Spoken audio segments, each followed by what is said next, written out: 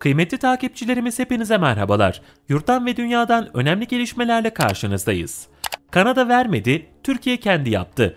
Aselsan İHA'lar için üretti.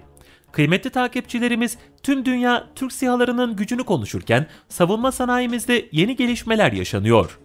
Kanada'nın bayraklara uyguladığı ambargoya rağmen yerli çözümler üreten Türk mühendisler yine çok konuşulacak bir işe imza attı. Kanada'nın satışını yasakladığı kat sistemleri Aselsan tarafından geliştirildi ve İHA'larda başarılı bir şekilde test edilerek kullanılmaya başlandı.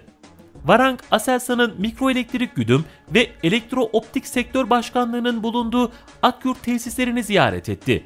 Ziyarette Varanka Sanayi ve Teknoloji Bakan Yardımcısı Mehmet Fatih Kaçır'la Aselsan Yönetim Kurulu Başkanı Genel Müdürü Haluk Görgün eşlik etti.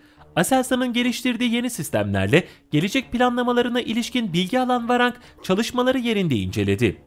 Ziyaretin sonrasında Anadolu Ajansı muhabirine açıklama yapan Varank, Aselsan'ın Akkurt tesislerinde özellikle elektrooptik ve aviyonik sistemler geliştirildiğini ve üretildiğini söyledi.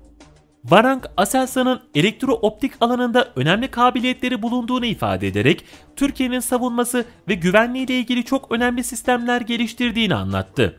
Varank, bakanlığın bağlı kuruluşları TÜBİTAK Savunma Sanayi Araştırma ve Geliştirme Endüstrisi ve TÜBİTAK İleri Teknolojiler Araştırma Enstitüsü ile birlikte kendilerinin de savunma sanayinde faaliyet gösterdiklerini anımsattı.